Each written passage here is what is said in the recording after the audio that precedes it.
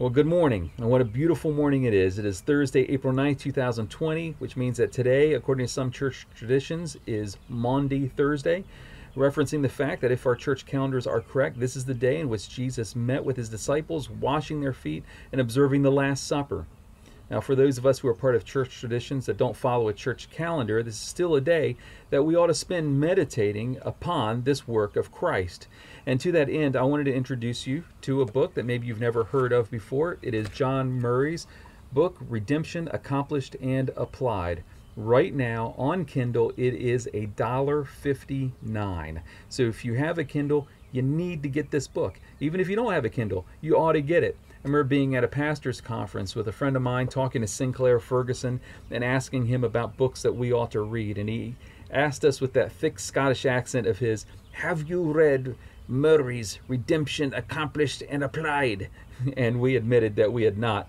Um, then he said, Well, until you have worked through that book, you have not done theology. And so, of course, uh, when we returned home, that's the first thing we did was we bought that book and worked through it together to our great profit. And so I want to share with you some thoughts from the first chapter, which I think will be of encouragement to you. Murray starts the book by talking about the atonement, the work of redemption, the work that Christ did to accomplish our salvation. And he says this is the central uh, piece, the central teaching of Christianity.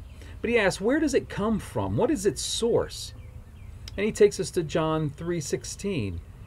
For God so loved the world that he gave his only begotten Son, that whoever, whosoever should believe in him will not perish but have everlasting life. And he says, right there we see that the source of this atoning work is the love of God. And of course, we know that God is love, it is his nature to love. But Murray asks, well, that being the case, does that mean that God loves everyone indiscriminately? And he says, no, God's love is a discerning love.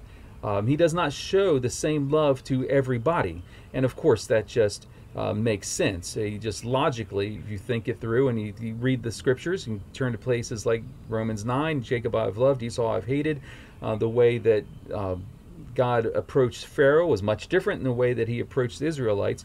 But where Murray takes us to is Ephesians chapter 1.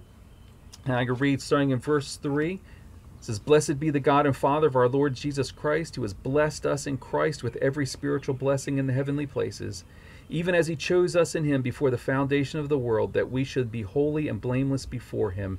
In love he predestined us for adoption as sons through Jesus Christ, according to the purpose of his will, to the praise of his glorious grace, with which he has blessed us in the beloved. And so Murray takes us to that passage and says, We see here that God's love is a discerning love. Even though his nature is the love, there's nothing that compels him to show love to anybody, let alone you or me. And so the fact is that if God has shown us his love, it's because he has freely chosen to bestow it upon us. That alone is of great encouragement. But then he says, once he's decided to show that love, did it have to take the form of the sacrifice of Christ? Why did it require the shedding of blood? Couldn't it have come in another way? And he admits that anytime we begin to ask questions about what God could have or uh, could did not have to do that we could run into some dangerous territory. So he said the best thing for us to do is just to consider the scriptures and see do they seem to indicate that the shedding of the blood of Christ was the only way for God to show us his great love for us?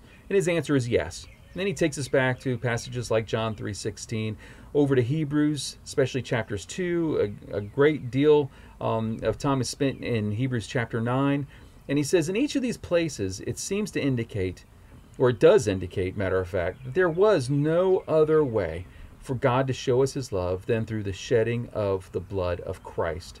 And then he meditates upon the fact that there needed to be judgment upon the sin of mankind, and there was none other that could bear that judgment but Christ himself. That there was need for righteousness. Um, if we were going to stand before holy God, we could not do it apart from being righteous, and the only righteousness that would do would be that of Christ. and that the cross is presented to us in the scriptures as the preeminent, the ultimate form of God's love, demonstration of God's love.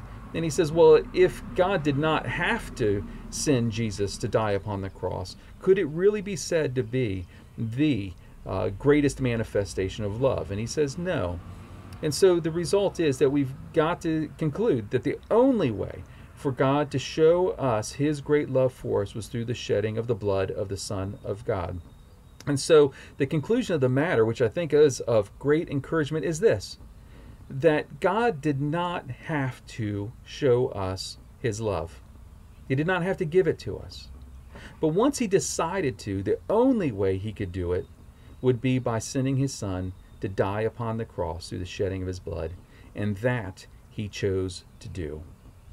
I hope that is of great encouragement to you this day and that the Lord will be blessing you throughout the remainder of this week.